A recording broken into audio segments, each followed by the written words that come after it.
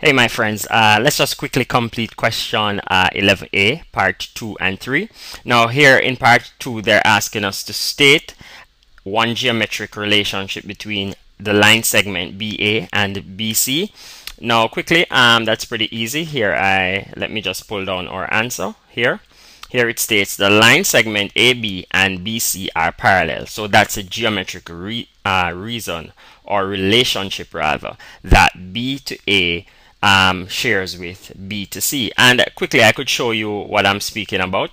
Um, it's, it's pretty easy. It's mind-boggling. Um, in regards to parallel, two lines, two or more lines are parallel. Okay, if they are the same distance apart from each other or if they merge as one line. Now notice the line BC would be from B straight through that point and I would stop at C. Okay, so that's a line segment BC.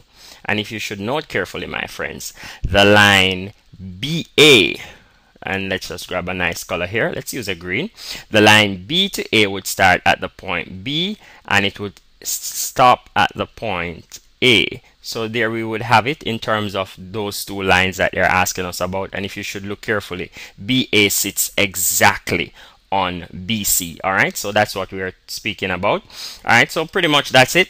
Uh, in part three, they are they're asking us now to draw a diagram to show the to show the relative position of A, B, and C, the three points. Well, as you would have noted, we had already sketched the diagram. Now, one quick piece of uh, information that I would like to share with you before I leave is that whenever whenever um they ask you to sketch now in the exam you wouldn't do this. And I'm just underlining that word sketch. You wouldn't draw this on a graph leaf. You would just simply use your rule and um, pencil to draw it on a plain sheet okay? Because they ask for a sketch so you wouldn't draw it officially on a graph leaf. You just draw your Cartesian plane your x-axis and your y-axis and you just basically put in the three points so let me show you what your sketch would look like in essence so what I'm to do I'm just simply going to be getting rid of to answer part three just get rid of these lines oops sorry about that so here we go, my friends. Uh, we would just simply get rid of uh, these lines that we have drawn.